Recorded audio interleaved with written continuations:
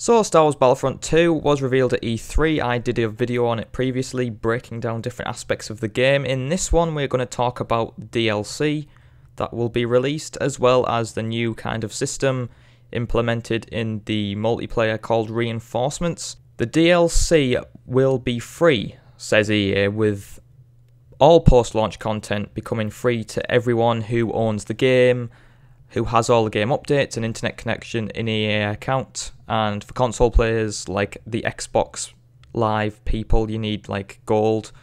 Or for the PlayStation players, you need a PlayStation Plus membership. So once those things are qualified for, you can get the downloadable content. So some content is very general in the DLC. I mean, the post-launch content will include heroes, maps, weapons, and vehicles. That's pretty much the standard DLC from like the last one, where it had weapons, heroes, maps, and vehicles as well. It's pretty much the same on that front, but the one thing that's revealed season one is going to be around The Last Jedi, which of course is coming into theatres or cinemas in December in 2017. So basically, this content includes the planet Crait, which you can see here in the trailer for The Last Jedi. You, you could see like the red dust being kicked up by some ships. Yeah, that's Crait. That's the new planet. So I'm guessing it's kind of like a sandy planet with like it's kind of like a salt flat in a way where there's just crust on top and then underneath there's something else. That's basically what it is. Also, Finn and Captain Phasma are going to be added as like playable heroes for both the light and the dark side, which is fantastic. That's all we have on the first DLC at the moment. Obviously, more will be revealed once the game's out in a couple of months' time, in about five months.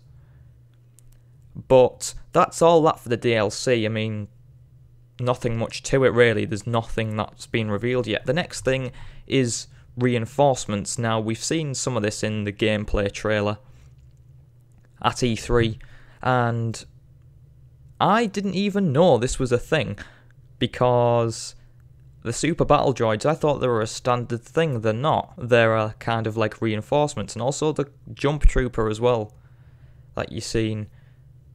Basically, it just brings new abilities. I think the more like kind of powerful classes in a way.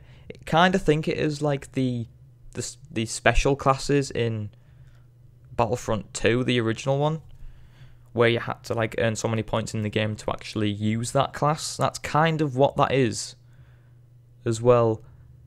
But they are a mix between troopers and heroes. So you can have some heroes. I'm guessing the heroes will be kind of like part of the battle point system, but reinforcements. I think more heroes will be available with the reinforcements thing. So you've got like your two standard heroes, and then you've got another couple of heroes. Think of it as like the uh, sabotage game mode where you had like multiple like heroes at the end, if you like, like all like four heroes on the battlefield.